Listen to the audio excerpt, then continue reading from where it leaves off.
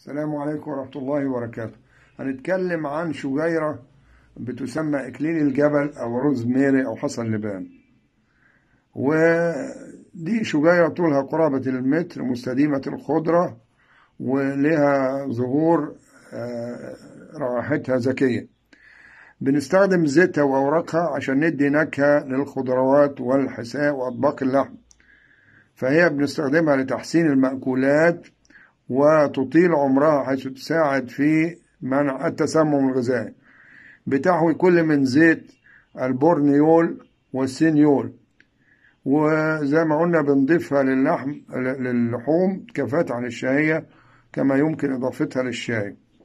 ويمكن وضع أوراقها في زيت الزيتون لساعات فتحسن المذاق ويصبح لذيذ ومنعش. كذلك ليها فوائد طبية عديدة من ضمنها أنها تساعد في التخلص من الإمساك وعسر الهضم خاصة أنها يمكنها قتل الإشيشيا كولاي بكتيريا الإشيشيا كولاي بأصنافها الخمسة فهي طاردة للغازات ومسكنة للألم. الإكليل الجبل أو الروزميري ده تكافح العدوى تخفف حالات الصداع. بتساعد في تعزيز جهاز المناعة بتحسن المزاج وتعزز الذاكرة وتحمي من السكتات الدماغية. بتحوي كثير من مضادات الأكسدة عشان كده هي فعالة ضد سرطان الدم والثدي وبتساعد في تعزيز صحة العين.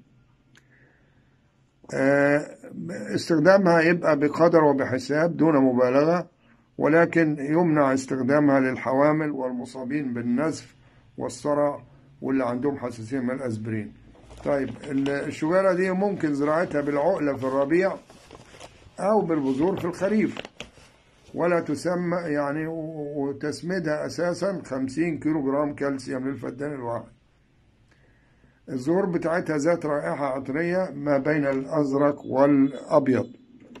بنجمع المحصول بناخد الفروع الغضة ونشيل الأوراق الخضراء منه ونجففها للاستخدام الطويل الأمد يعني وهي موجودة عند العطارين وعند تجفيفها بتفقد قرابة أربعة أخماس وزنها.